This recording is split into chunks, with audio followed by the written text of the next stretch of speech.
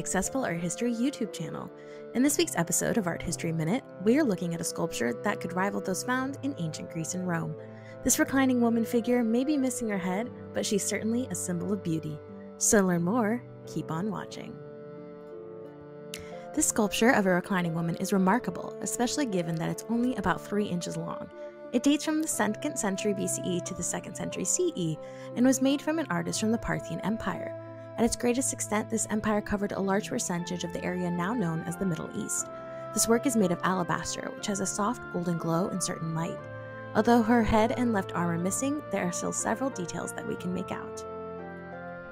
One of the most remarkable parts of this piece isn't necessarily a part of its composition. During this period of ancient history, reclining figures were common motifs in ancient Greek art. Through trade and conquest, this style was adopted throughout the Mediterranean and Middle East. However, the Greek tradition was almost always reserved for male figures, as you can see on the screen.